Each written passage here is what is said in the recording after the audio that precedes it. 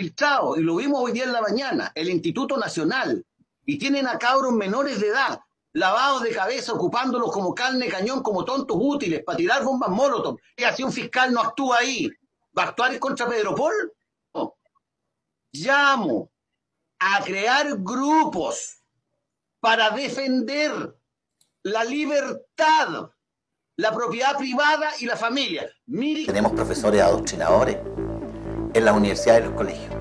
Los colegios fiscales no debieran existir, debieran ser todos privados.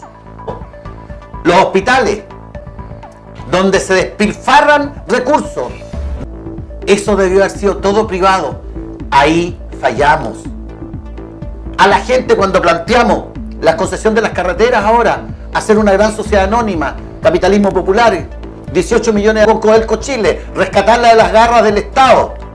Eso es crear cosas nuevas, eso es inventiva y eso es lo que no ha planteado la derecha. Y eso es lo que no planteó incluso José Antonio Caz. Tenemos que asociarnos con Brasil, tenemos que buscar vínculos de inmigración y de tecnología y de apoyo económico con Israel. los prostituyentes eran básicamente la lista del pueblo y la lista del pueblo era una lista de delincuentes. Ah, te cagado violando minas, weón, y tenés que tener venir a parar aquí. A tu hermana se Bueno, además, por Oye, bien asqueroso, conche tu madre.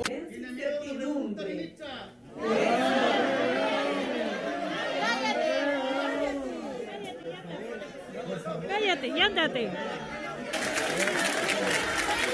Gracias por lo que hacen. ¿Ah? porque ustedes efectivamente hablan las cosas por su nombre, van directo al grano, le eso se valora. A fusilar a los prostituyentes por alta traición a la patria. Es un mierda. El hambre y la esclavitud. De eso, estos indios que están ahí también, todos esos buenos los vamos a fusilar. Yo, a la mala, que la izquierda no se equivoque. Oye, Pedro, y no van a ser 3.000 como el general Pinochet. Van a ser harto más y no va a haber exilio dorado se van a ir a la isla Dabson y con poca ropa y a trabajar.